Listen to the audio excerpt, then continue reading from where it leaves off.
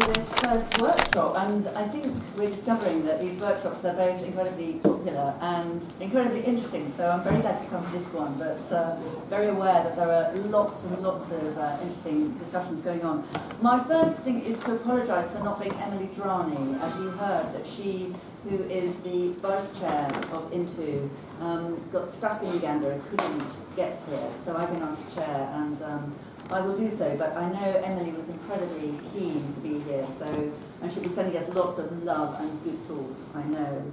Um, what the function of this workshop is, is, is perhaps as close to the heart of what we've been discussing about as it's possible to be, because this is all about whose heritage counts, whose heritage even gets on the radar, how we look at heritage through the eyes of people who perhaps have not been part of the narrative and not been part of our stories, and indeed, you know, what are some of the things that we can do. And we're going to hear um, four very short presentations. Now, I know Emily asked you all to do five minutes, and she would, I'm sure, be um, helping me to keep you to five minutes, because if you keep to five minutes, we can have lots of discussion and you can come back again and interject in the discussion. So let's keep the initial presentations very short, because what we're doing is starting off by just kind of raising the issues, not trying to provide all the answers, um, because we hope the group will work together at some of the challenges and how we can deal with them. So I'm going to introduce our speakers first, um, and then we'll begin. So first is Alice Chaperoni from FAI.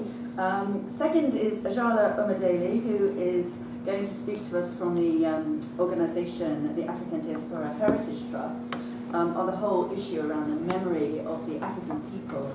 And he's accompanied by Ms. Maxine Esdaille, who is a board member, I believe, of the Trust, and it's very, very good to see you here as well.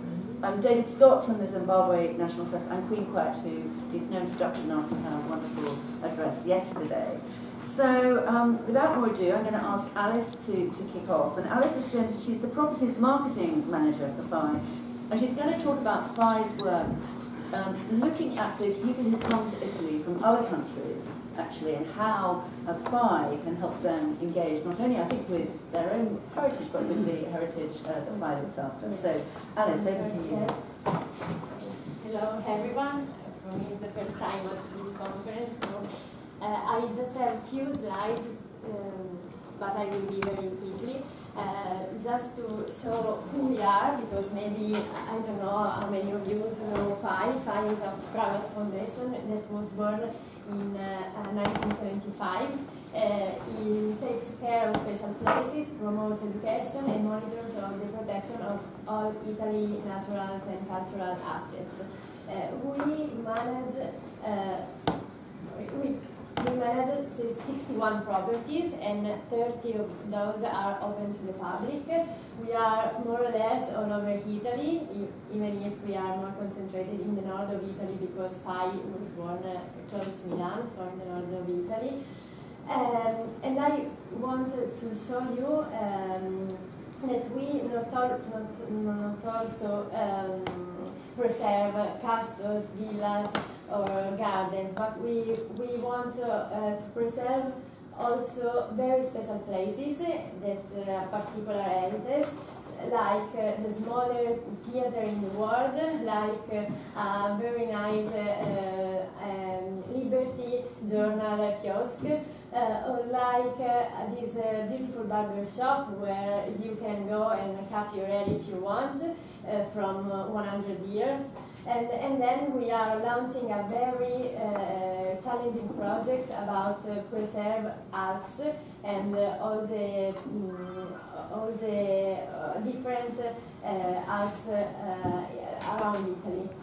But uh, the project I will show you today is uh, called FAI Ponte tra Culture. In English, in English is like uh, fai that in Italian means let's do uh, bridges behind cultures.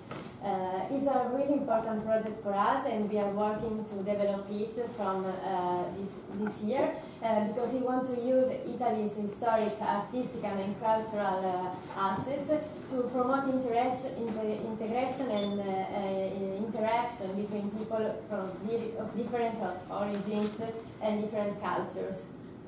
Uh, because uh, we think that uh, our country heritage, is valuable also for the um, because it reveals connection and uh, link with ancient and more recent um, part of the world. So um, uh, it involves native Italians because uh, thanks to the help of uh, foreign volunteers, uh, we can discover how our heritage has been influenced by other cultures.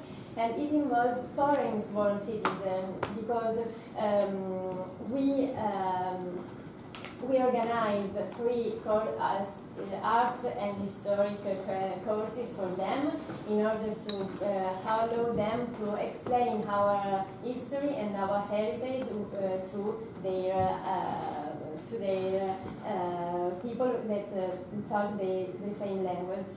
And uh, so what we what we will do, we will organize free courses of Italian history, and uh, we um, identify in our properties what are the elements that coming from different cultures.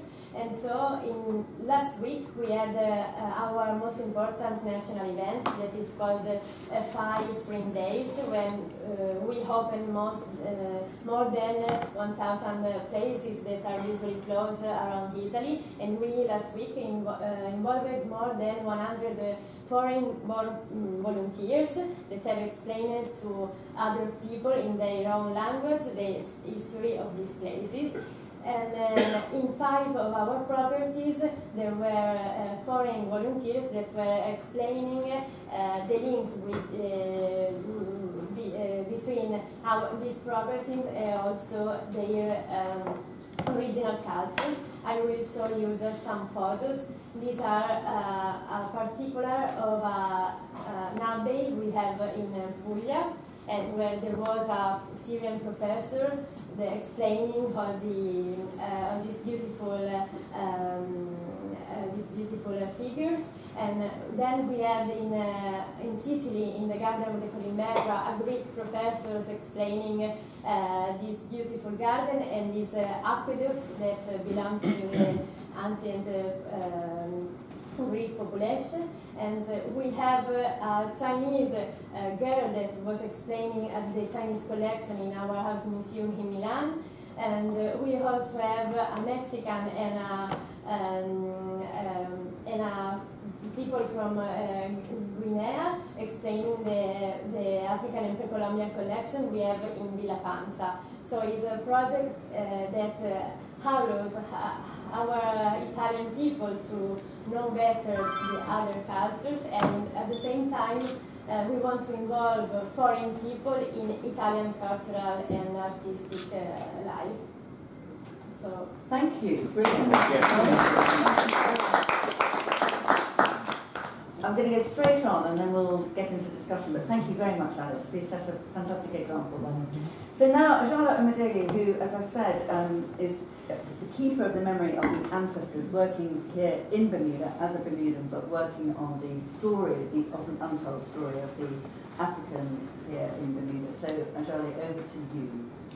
Um, don't start timing because it is it would be disrespectful of me to engage in conversation about my ancestors and their importance and their centrality here in Bermuda without inviting them into the space first. We don't sure. do that. That's like coming into a place and not wiping my feet. Mm-hmm. So I just ask that you give me that time to call the names of some keepers of memory who were born here in this land and who worked here in this land. Mm-hmm. Ira Philip, Eileen, Nellie Musson, Sally Bassett, Cyril Packwood, Mark Allboy, Mary Prince. I invite you into this space to hopefully give some wisdom to my words and to know that we have not forgotten you. Ashe. Ashe. Now, one of the issues that I often have when um, dealing with the story of Africans in Bermuda, or dealing with the story of Bermuda writ large, is that quite often, too often, the people who are telling the story are the hunters. There's an African proverb that simply says, only when lions have historians will hunters cease being heroes. Unfortunately, the hunter's perspective often carries the day because of, you know, I only have five minutes, but the legacies of institutionalized white supremacy, um, which permeate the, the, the, space we now know as Bermuda, right? the, the, Isles of Devils, very aptly named. Um, and one of the one of the myths that has been uh, promulgated is that somehow slavery was benign here. A mm-hmm. speaker yesterday spoke on the idea of, I think he used the phrase, uh, folk were, because of the proximity, somehow the slavery experience was fundamentally changed here. Right? I've heard this, this familiar refrain trotted out by such scholars as um, Michael Jarvis, Virginia Bernhard, here in Bermuda, uh, James Smith. Others have grievously, and others have grievously misrepresented the story of the lions. Right? William Zuill is another one. Again and again and again, this idea of the benign nature of enslavement uh, is, is bandied about and unfortunately has been absorbed by many of us who haven't been dedicated um, destroyers of white lives masquerading as the story of this island. But our ancestors speak, you see. They, they, they tell glorious truths whether white people like it or not. In my upcoming book entitled um, what do call it? A Tale of Two Women, Sally Bassett, Mary Prince, and the True Story of Slavery in Bermuda. Mm. I took this excerpt, excerpt, and hopefully it won't take me three minutes to read. It's called Kill Them All.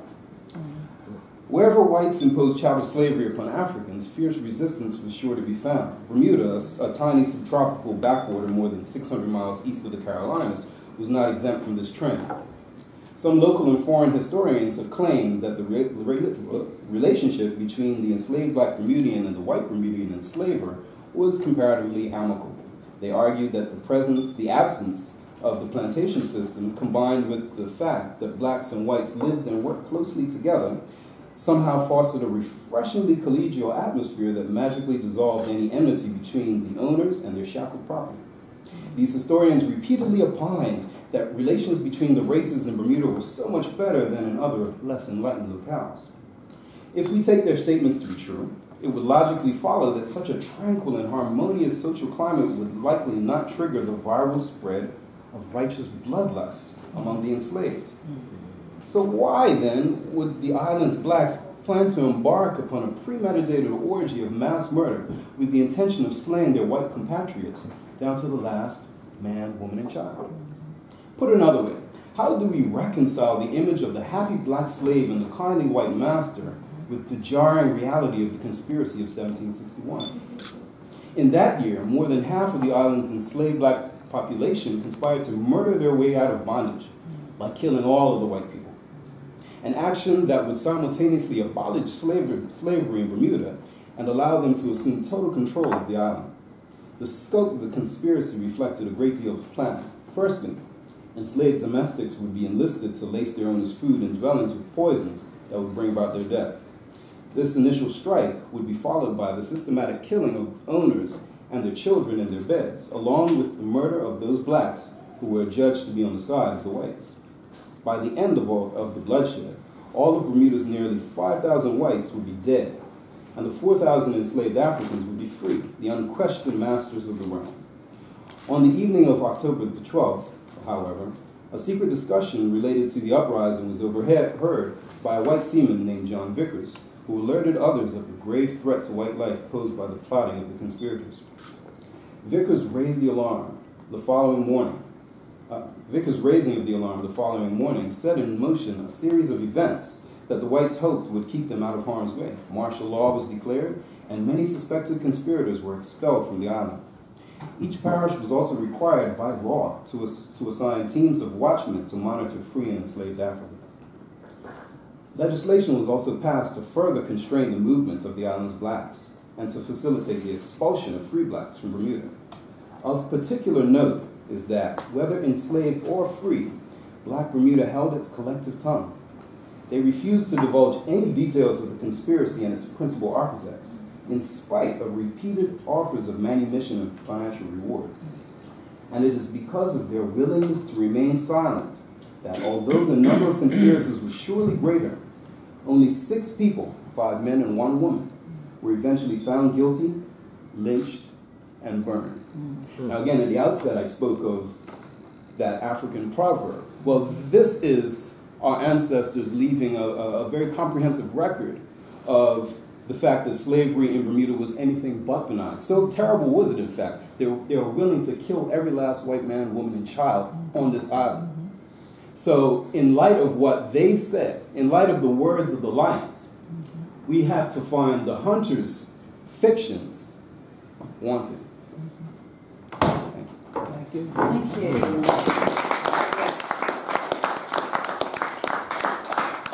Thank you very much. That was incredibly powerful.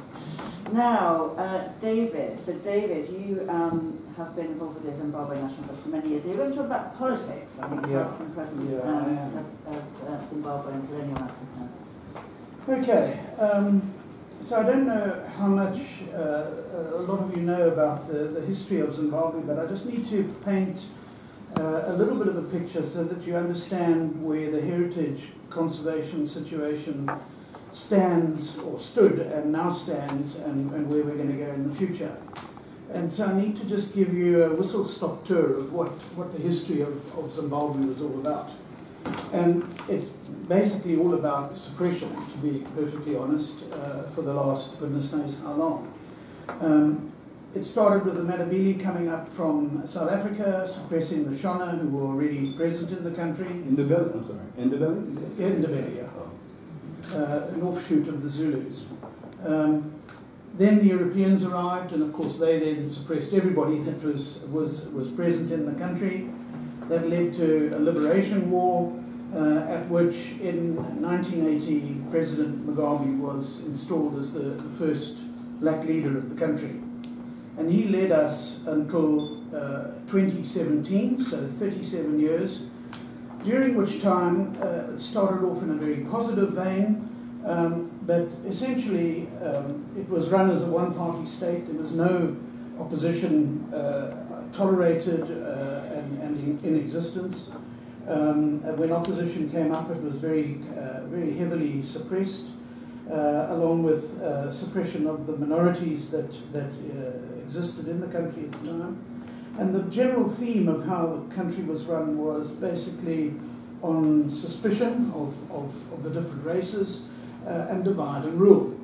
Um, and that, that seemed to be uh, President Mugabe's general uh, modus operandi.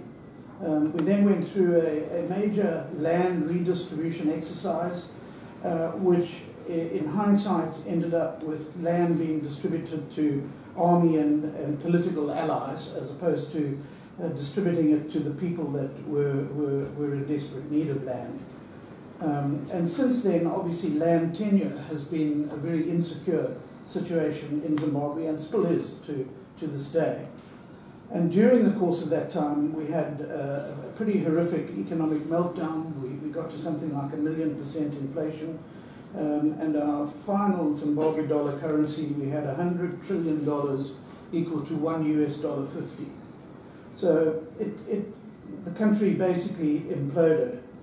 Um, in November 17, um, a, a coup that wasn't a coup took place, where, where the President Mugabe was essentially forced to resign, um, and a new dispensation uh, commenced under one of his previous deputies, uh, Mnangagwa, ED Mnangagwa. Um, and at this, at this point in time, there's an, an uneasy calm and more, but more open dialogue between the private sector and, and government. There is a much more uh, open attitude to, towards discussion. So it was a um, four decades almost of, of suppression and, and people uneasy and, and not willing to put their heads above, above the parapets. Um, and the only thing that, that really was given emphasis was anything that uh, was designed to keep the ruling party in, in power. And that included heritage. So they, they, there was very little one could do about, uh, uh, about developing heritage, heritage conservation because the government felt that was its, uh, its remit and only its, its remit. Um, that, that, is, that is changing now with the, with the new dispensation. So the National Trust itself ended up in a 10, maybe 15 year lull of, of, of, of not really being able to do too much, and also in the face of this massive economic meltdown, uh, where we were described as um, one of the worst uh, environments outside of a war zone at, at one point in time. Um, the problem that we have with the, the National Trust is it, it was an act passed in 1962, which was obviously well before uh, independence. There's a perception of a colonial past, uh, which, which, we're, which, we're, working on, on correcting now. Um, and the other big issue is that we're finding it extremely difficult to get uh, people to come onto our council, and as a result, we've got what I call a two white council, where, where seven out of 11 of the council members are, are actually uh, uh, white people, when, when in fact it should be very different to that. So we then said, what do we do now? And, and, and we've, we've started what we consider as an outlook program, um, where our one, one property we have, we have seven properties, three of which are developed. Uh, one is a museum, and we've used the museum to reach out into the local community in the area in which it operates uh, to the, the, local, the local community and the schools. Um, and we've asked them what is it that they would like to see in, in our museum. And we've started uh, uh, uh putting into the museum exhibits which, which meet the, uh, the aspirations of, of the local community and, and the local leaders. And they've come to us with ideas of what they would like to see in, in the museum. And it's an inclusive view. It's not um, I'm not suggesting that anything that had anything to do with colonial past and, and so on is, is, is binned. Um, it's, a, it's a completely in, uh, inclusive uh, picture that the museum is now starting to, to put together. And at the same time, um, we, we are focusing on the education aspect, uh, heritage and environmental education, uh, with the junior schools as, as our target. Uh, we have four properties which we need to develop, um, at which our vision is to have interpretive centres there for environmental and historic education of, of schools and the local the local community, and they're quite they're quite widespread properties. So there'll be there'll be different aspects uh, of of the history and culture uh, developed in, in different areas. As far as heritage that has not yet been identified. We, we believe there are an awful lot of um, areas of, of uh, religious and historic importance that are, are not protected. Um, the National Museums and Monuments Commission, which is the, the department within government that handles uh, uh, historic sites, has no money and no skills able to, to really expand the, the current portfolio. And so we've started, we started talking to one of the um, very influential uh, elders in the ruling party um, who started to talk to local chiefs to identify um, uh, religious sites uh, and historic sites that we could then start to coordinate uh, perhaps a program of, of uh, educating people, protecting those areas. And the, since the new dispensation has come in, there's a, a new syllabus that's been introduced into the schools, which indicates that government is committed to uh, to heritage education, uh, and it's quite an extensive syllabus which we'll be working with uh, with them. And um, so our intention is um, to to basically focus on the local communities and schools in the areas in, in which we operate, and to try to open up and build a, a better relationship with government uh, to to try and get to grips with with the heritage that's not yet uh, protected. Oh, thank you. Goodness, and now Queen Quet needs no introduction except having read her CV. Um, I'm a bit more um, amazed that she, she's such a polymath, but as we all know, she um, is the Queen of the Gullah um, peoples, and you're going to talk to us, I think, about unheard voices. Is that right? Mm-hmm. Sometimes I feel like a motherless child. Sometimes I feel like a motherless child. Sometimes I feel like a motorless child so far away from home. A long way from home. Yeah, we the quiet. The matter with them. The back or sent by me. Then, uh, so you eat up. Now, I get people be taught tall. But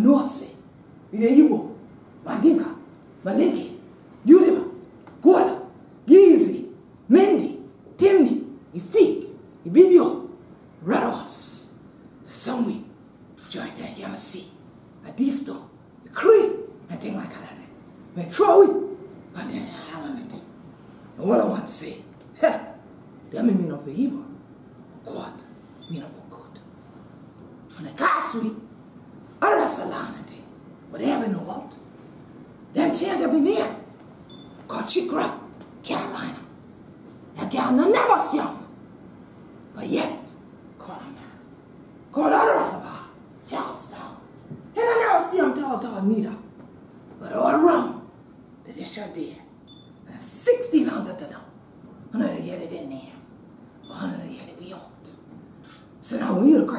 And things like that, them cracky people tell you say, Great God, that ain't how we supposed to do.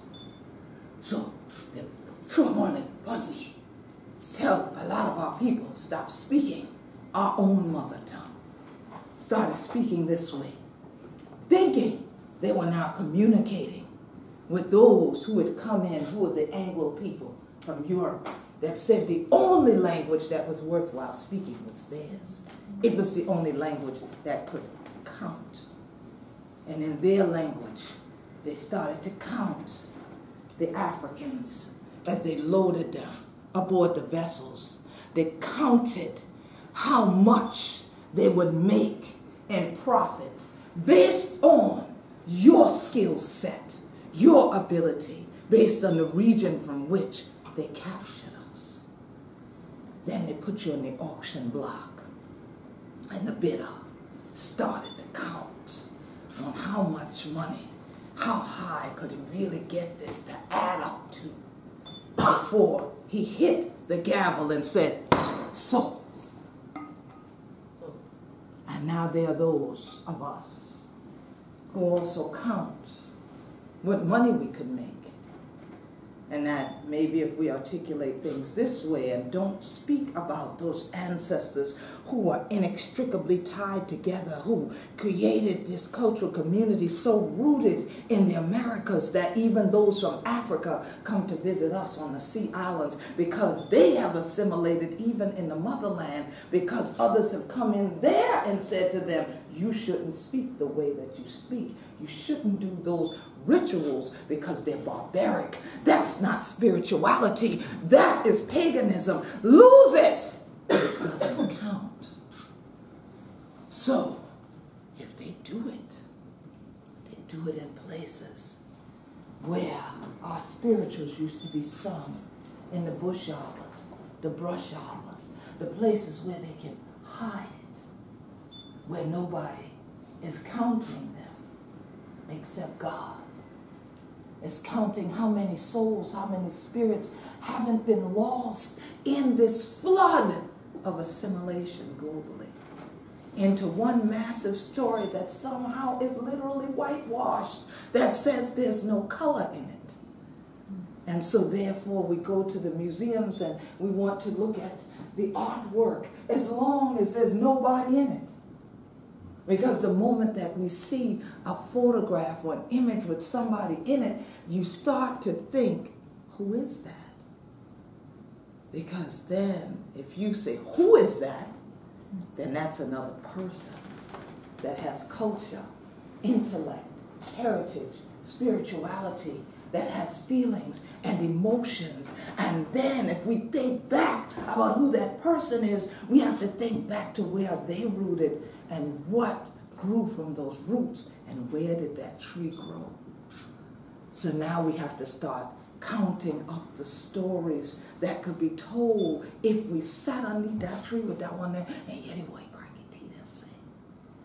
So if we sat under one of those lovely trees on a less breezy day than this one, we might actually just tune our spirits in and hear those voices coming from beneath the soil, the very souls that were there, that shouted, that sang, that cried, whose blood, sweat, and tears counted in the building of everything around the world.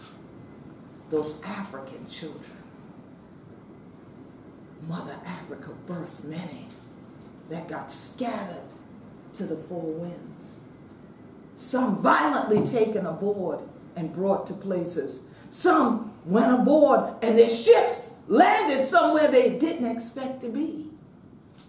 And here their journey continues because as long as you call a man or woman's name, that man or woman's spirit continues to live. But do we know their names and do they count? So, when you see the Gullah Geechee national flag, you see that our family tree is in the center, and it is those African bodies who are inextricably tied together. These are those souls that all have come to be known as Geechee. Gullah, the word itself means people blessed by God. But for so long, people said our language, our traditions, our culture didn't count except on an auction block. And here it is, there hasn't been a place that I've gone to yet in the world that someone doesn't tell me of the journey and the story of my own people landing in that land.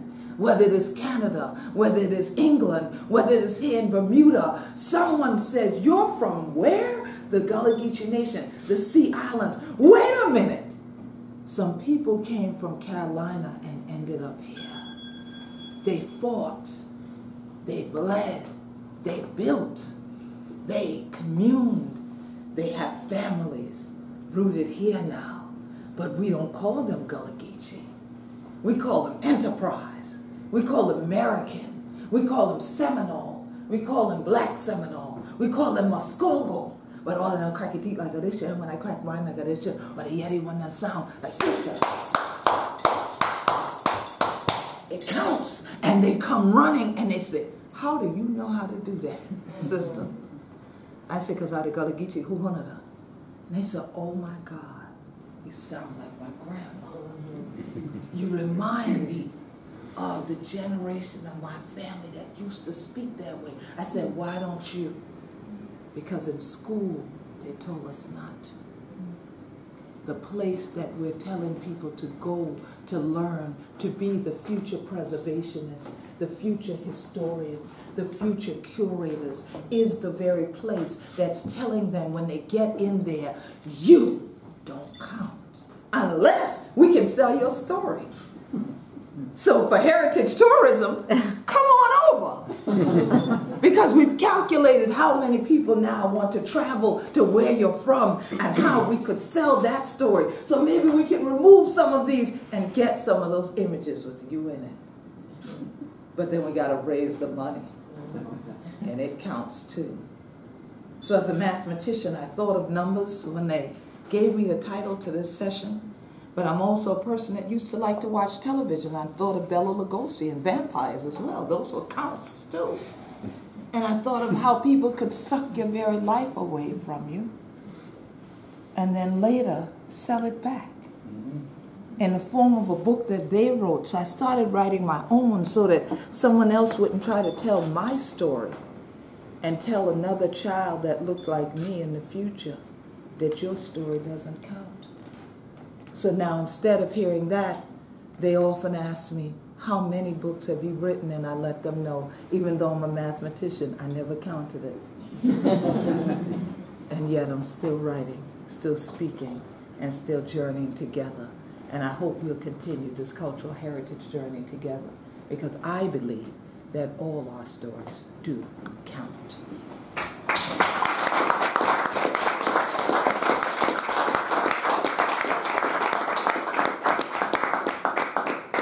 goodness, incredibly moving uh, as we were yesterday. but I think we've had, you know, two stories of two national trusts working to try to kind of reimagine relationships, to cast aside traditions and to traditions which were unashamedly and absolutely based on certain conceptions and working to try to reach new audiences and understand new stories, new narratives, new relationships. We've also had two of the most moving presentations I've heard in a long time from people whose voices have not been heard, people whose voices have been interpreted in ways that don't feel authentic and real, and there's a challenge there, particularly, I think, the challenge that um, gave us. So we, we're dealing with really profoundly important issues, ones that can't be reduced to simple solutions, but equally, perhaps, perhaps the first step is simply acknowledging um, the depth and the philosophical kind of nature of this of this whole debate. So there's lots more. I think I certainly would like to hear from our speakers, but actually I just want to know from some of the people in the room whether these discussions have what they mean to, to, to people from national trusts from other countries first. So who'd like to just remind remember to say who you are. Who'd like to who'd like to just you know is it does this resonate? Does this challenge? Does this yeah. Hmm? Yeah, you looked at me. You looked at me. You spoke for him. Yeah, yeah. You're, uh, do I have to stand up or going to be Just tell us um, yeah. I'm Walter Hellebrandt and um, from St. Eustatius, that's uh, one of the Dutch Caribbean islands. And um, uh, I'm Monuments Director, so my job is to look after built heritage, but I'm also Secretary of the Historical Foundation that runs the museum. And I was curator of the slavery exhibition in the museum. Um, which um, um, can be uncomfortable because I'm very white.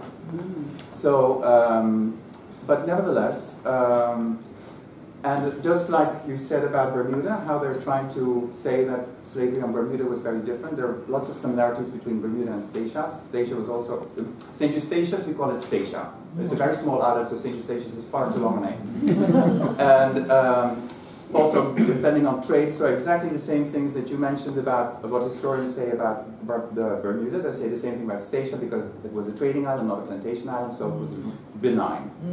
My reply is always yes. Look at there's archival um, evidence of runaway slaves. If it was so benign, they wouldn't run away.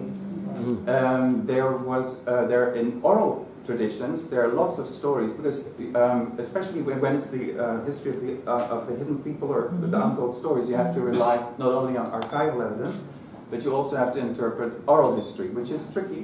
But uh, we have a strong oral history tradition on St. Eustatius. And there they talk, there they talk about how cruel some of the sl- uh, slave masters were. And then there was a slave revolt on Statia, and the, the, the, the I find it a terrible thing. The, oh, by the way, I am a Statian. I'm born and raised Statian. I always have to explain that.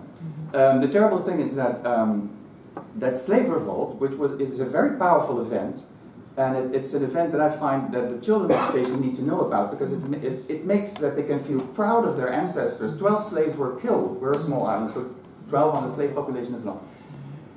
And if you tell that story, the, the, the, the, the descendants of those enslaved Africans on Statia can feel proud of their ancestors who did the biggest thing you can do. They gave their lives for freedom, and not in Mhm. vain, because it was the slave revolt of Statia, 1848, that was the signal to the Dutch government to be serious with abolition. Mm.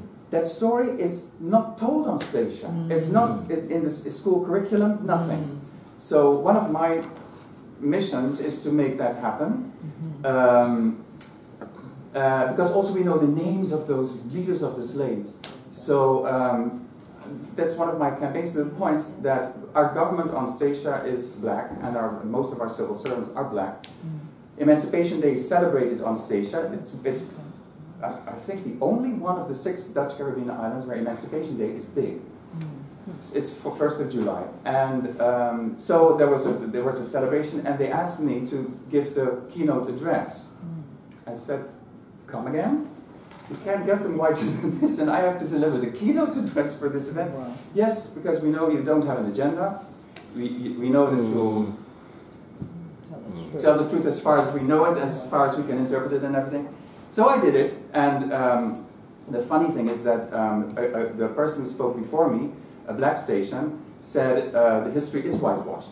and uh, children need black role models like Martin Luther King, or so that in school we have to talk about Obama and uh, Malcolm X and everything. And then in the audience, there were people who were starting to shout, were, um, why are you looking for role models off island? We need our own role models. And the nice thing was that what was my keynote address going to be about? About that slave revolt. And we know the names of those leaders.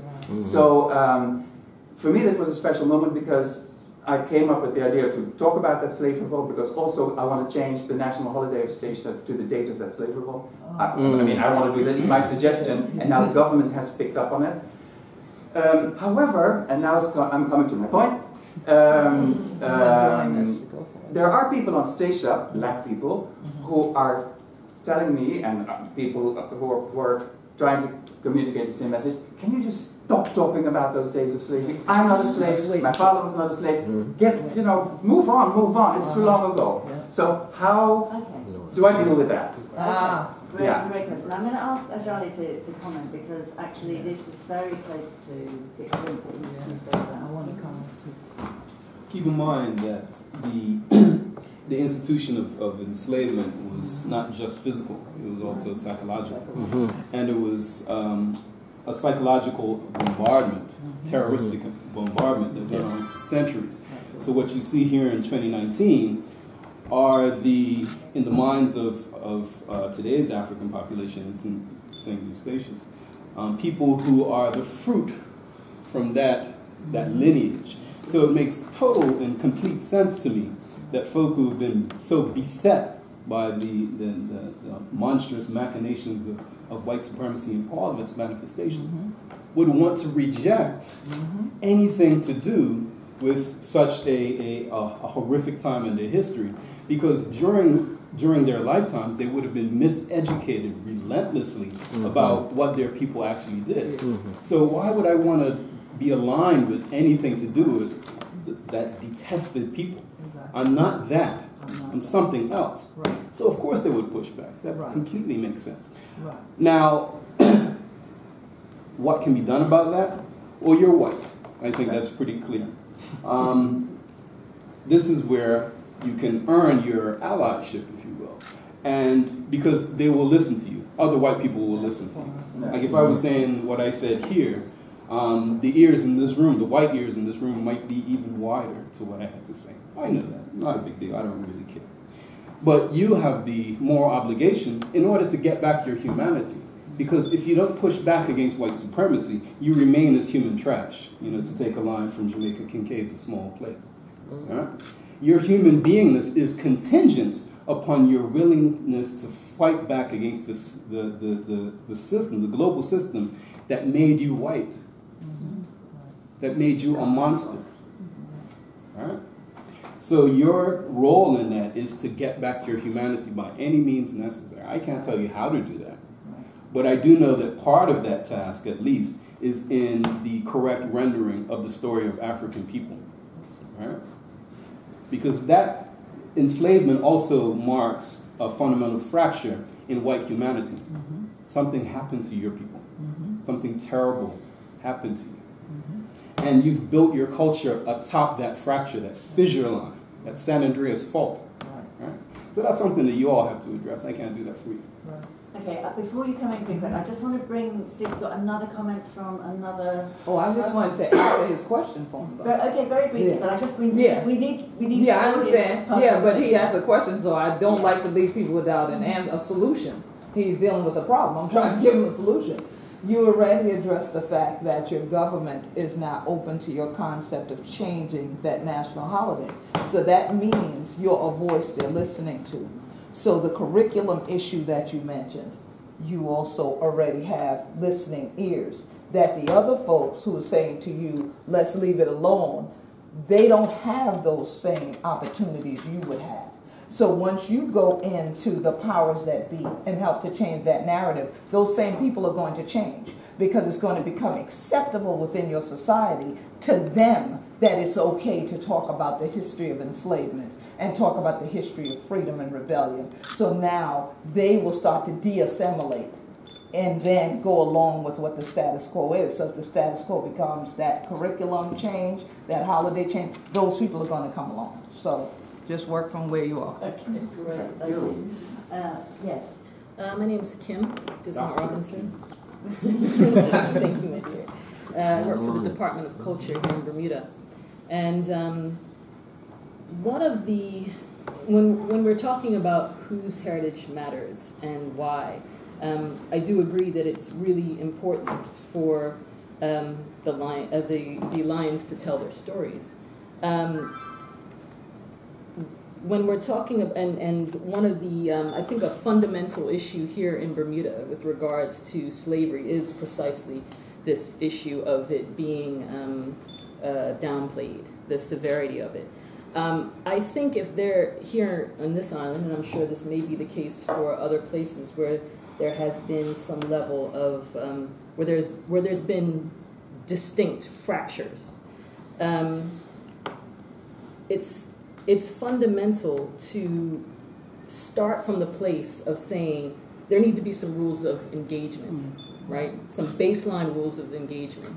And I think for Bermuda, the baseline rule of engagement on this topic would be why would you feel the need in any way to sort of put slavery on a scale and say this is better slavery this is hmm. worse slavery. Mm. Because if you understand anything about the nature of slavery, there is no better or worse. I think mm. that's the baseline level of engagement.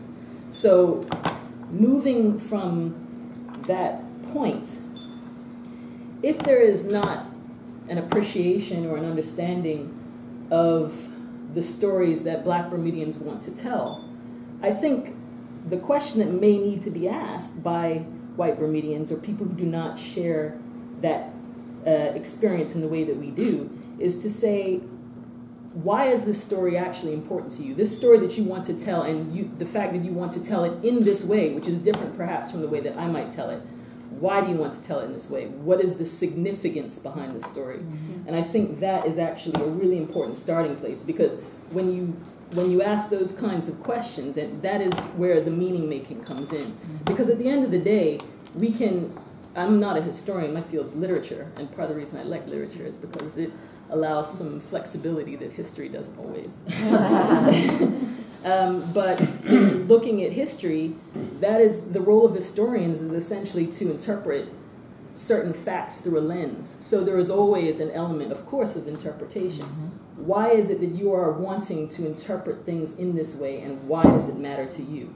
And that is the point, I think, where we can start to actually have honest and real dialogue. So. Yeah. Um, yeah, thank you. Um, just to follow on from Kim, I'm Charlotte. I'm also from Bermuda. And um, just to say these matters do concern me very much too, but what I want to avoid is sort of talking about myself because it is the issues, you know, and I think um, what all of you are, uh, you know, saying so well, I think, is this, this creating space and stepping away, you know, especially those of us um, from a position of white privilege. Um, it, I guess I want to ask how far it needs to go as well in terms of um, maybe, you know, allowing more others to curate, allowing co-curation, but also really giving the power over curation, not just the stories to be told, but how they are told. So this links to your participatory, you know, real support, and, and I'm very much behind those sort of approaches. You're bringing in multiple interpretations, but so important in this particular realm in Bermuda. And I think, you know, we're all trying to to learn and embrace, but we so easily retreat. I think to what we know and our misperceptions and miseducation, and I think. Um, I think I think a lot about well, how can we create those platforms, you know? But it really is relinquishing some of that curatorial control, and I think it's kind of the difference between not being racist and being an anti-racist, you know. Um, how can we? There's maybe okay, we include some more voices and we we have some good programming and things, but there could be a deeper shift, I think, and I know that's going on with some museums and heritage organizations. Um, but it is a push really to you know feel like we could have that quantum leap in a place here where we maybe haven't gone far enough yet, um, and because the because the fractures are so pronounced here. Um, but I find it to you know it, it really is. It's like you want to find those, but you also need to let go. and letting go is the hardest thing. So, Yeah. Gus, I want to ask you to say something about how far can it go? How far should it go in the Smithsonian Museum? We know you, you, you could, it could go all the way. What is, what it, where is it going to land? But we have a, do you want to speak? Did I I didn't want to speak. Yes. I guess the, the, the word that jumped at me when you were speaking was allow. Yeah, sorry. Um, See, that comes from a Bad language. position of power Yeah. already. Yeah, yeah. National trust, my perception of national trust, and I'm not the youngest person in the room, I'm not the, maybe I am the oldest person. But anyway, from my perspective, national trusts have always been other people's trusting my stuff. For example, the National Trust in Bermuda only recently had persons of African descent be a part of it in any real way. When the National Trust in Bermuda started, my perception was that was those white people talking about their stuff that mm-hmm. is their mm-hmm. stuff. If you look around this room, if you look around this building, it's mm-hmm. about white people's stuff. Okay? We have a little, we have a, a slavery exhibit down there, but although we've been here since the beginning, mm-hmm. we have a Yeah. exhibit down there.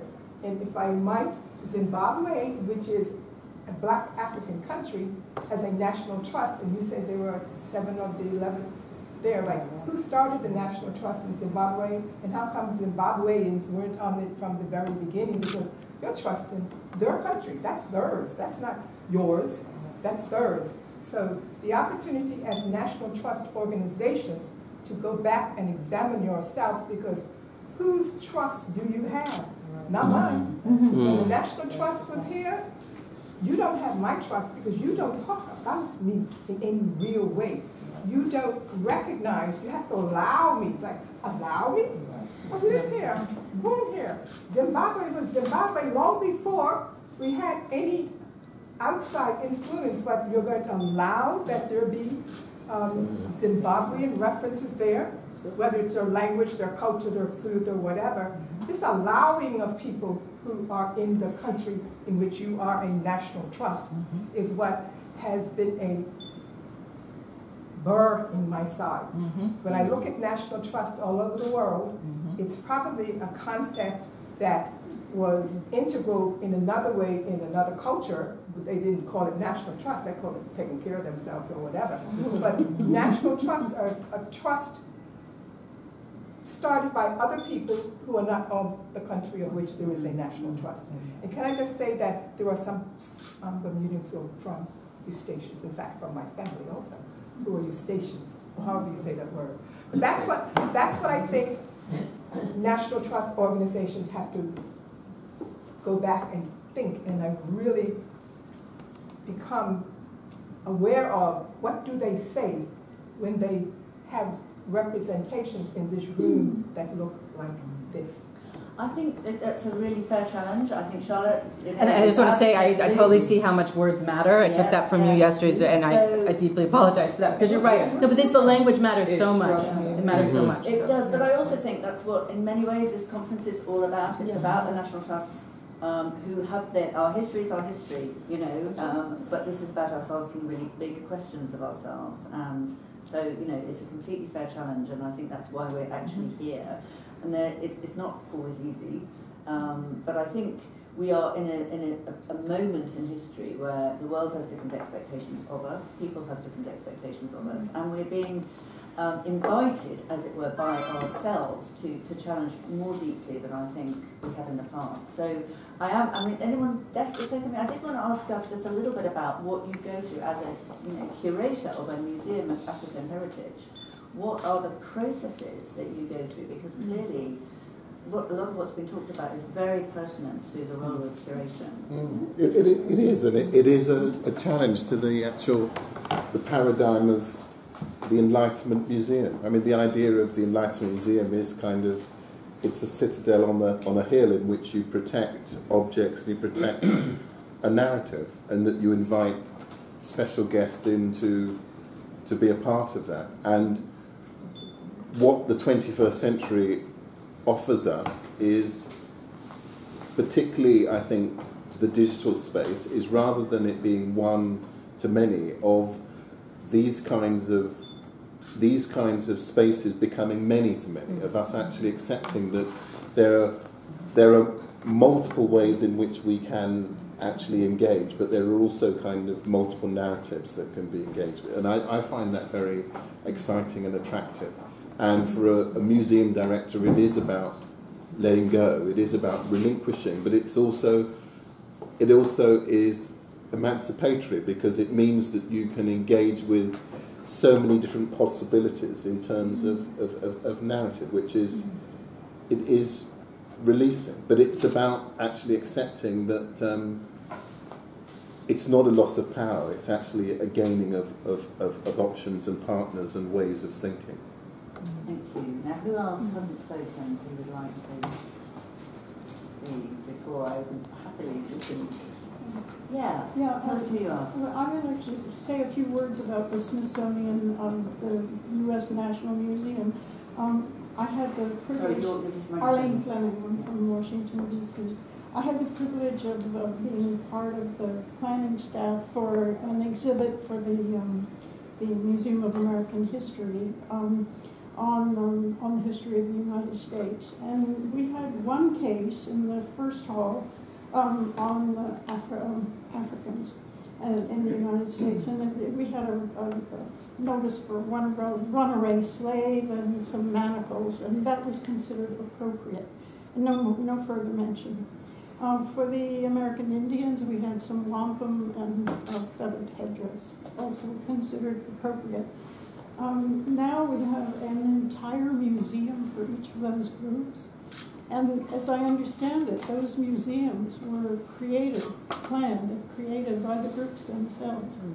And so I think it's an enormous um, accomplishment um, in, in a relatively short period of time. But then I think about the, um, the relationships between the races and the different parts of our population, and it's very uneven. I mean, we've made great strides in presenting the heritage in a national museum, but, um, and we have also an African Museum of African Art too, which is something that was, believe me, never imagined. I mean, it was completely beyond our imagination. But, but when you say the we, it was Those of us who were working at the Smithsonian, it was absolutely beyond our imagination that there would be a museum dedicated entirely to um, African American history and one entirely to um, Native Americans. And I must say, for the African American Museum, as you probably heard, it was impossible to get in there for months. It was so popular. I mean, you could not get a ticket um, for months. And um, so, so um, what I'm trying to say is that we've made great strides in presenting the heritage, but the society as a whole is still, the pattern of accommodation is still very uneven. Yes. But that's where I think the Octavia Hill ambition of perpetual revolution, of, of always thinking that Mm. there is more to do. Yeah. Yeah. And, you know, that we talk, it is amazing the strides we've made Yeah. within the Smithsonian. But we have such a long way to go Yeah, still. That's true. And I think it's important for us to acknowledge that. Yeah, now, the person now, Yeah. and. I, I just need, I have to say something here. Yeah. because you mentioned a short period of time. When I was told about the fight for the what has become the National Museum of African American History and Culture of the Smithsonian, it had already been 216 years that we had been fighting to get that museum. Yeah. Then it was a fight on top of that because when they did the Anacostia Museum, they said, well, that's yours. We said, no, it's not, hmm. because we need one on the mall with the rest of them. Exactly. So then the fight continued until we have what's there now. Being a native Gullah Geechee, there are numerous items that were taken from the Sea Islands that are in that museum. I was just there to look and see what Lonnie and those did with them. Never once is the word Gullah Geechee in that mm-hmm. museum. Mm-hmm. No. Everything is just black, Negro, African American, so that it blends, so that it fits the header for the Smithsonian National Museum of African American. Louis Gates does the same thing. He came to where we are. He talks about African Americans being enslaved. African Americans weren't enslaved. That terminology was started in the 80s by Jesse Jackson.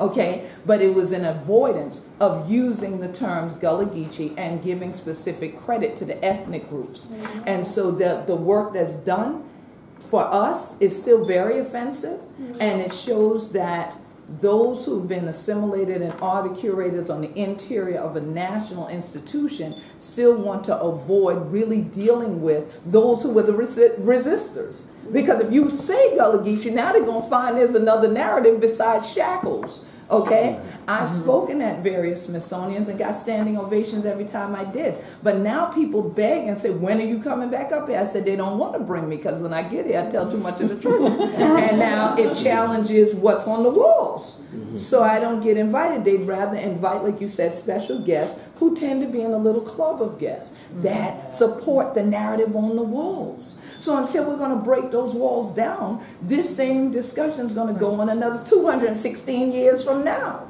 You see? And then I just would challenge the trust, period, to build trust. That not these same old breakout sessions, controlled, you get to talk when we call on you thing, it's not everybody's culture. That's not everybody's culture, and that's not the way we communicate where I'm from. And it's offensive to us when you try to box it in.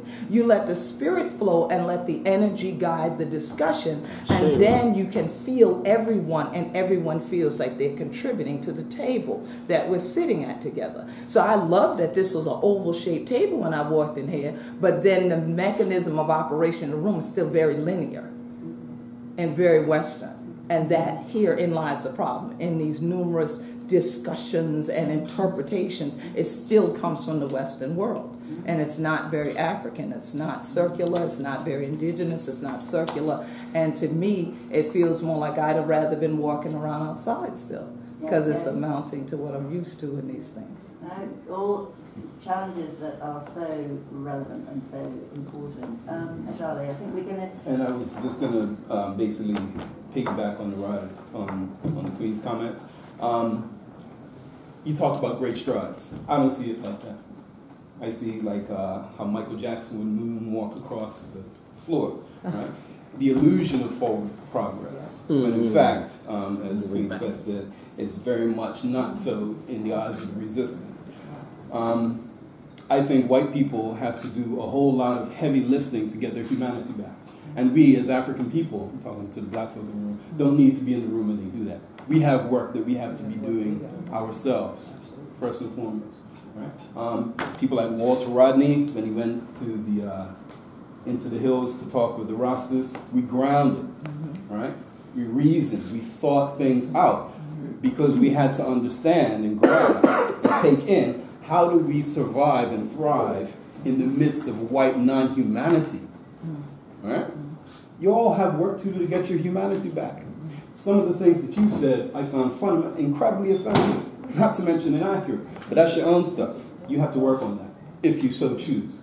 But as African people, we have work to do to get ourselves out of this white, global white mess that white people have created.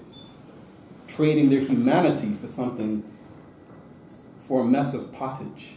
Mm, mm. Yeah? But again, as African people, we have the work to do to reclaim our own story, to protect our own story, because we are part of the story. We are the living heritage of which we speak. We are that flesh, we are that soil. And that is the work that we as African people have to do. Thank you very much. Now listen, time's up. And uh, for all of the challenges in the room, um, I think they're felt very deeply, and I think this is the beginning of a very long conversation and a very long process. Yes, very Thank you so much, everybody.